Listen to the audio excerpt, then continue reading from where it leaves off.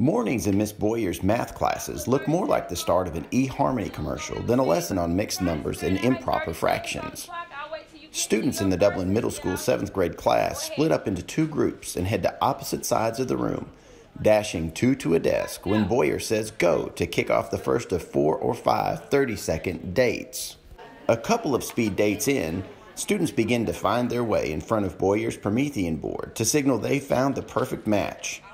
Bouyer checks them off, usually giving a smile or an awesome sauce on their success, and then splits the students up to speed date one more time. Unlike the adult version, where the expedited icebreakers are designed to lead to soulmates and forever after, Bouyer's math equivalent is intended to help students use their peers to breach problem solving barriers. I know about speed dating, so I thought about um, just thinking of something that they would enjoy. Uh, this is the middle school, so you know they all talking to different individuals. They're starting to get interested in dating people. So what I did was say, why don't we speed math date? Because I tell them they need to date their lessons, and that's how I came up with it. This particular morning, the class had to solve a word problem tied to the rise and fall of stock values turning an addition problem between a negative and improper fraction into a mixed number solution. Go around and you're going to let people tell you or share with you on how to compute this word problem. Boys and girls paired up and were deep in conversation, something usually only found at the lunchroom table.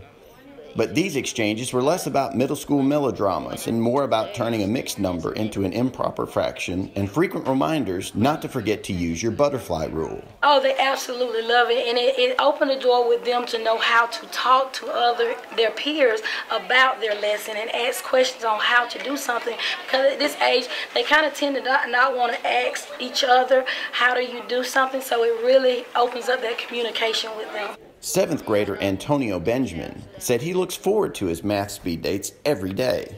Uh, I think I think it's a wonderful experience, and I get to uh, talk to my peers. Usually, when uh, we're in the class, you try to make it uh, more, as active as you can, because I'm kind of like a hands-on learner, and uh, most people, some people are visual learner, but I'm a hands-on learner. She approach she approached math like she's very serious about it. She tried to make it as fun as it can, and uh, she's very active. Classmate Jeremiah Gilmore agrees.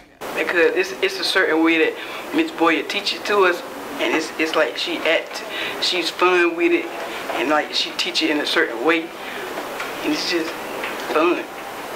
The math speed dates have been so much fun for Gilmore that he started holding impromptu versions at home with his siblings. It's, it's like just basically the same thing, because um, like if you got uh, peers at home, you just do it like you do it like you do at class. You just act like your sister or brother, one of your uh, classmates. You just teach it to them so they'll learn it when they get. Reporting from Dublin Middle School, Jason Halcombe, Dublin City Schools.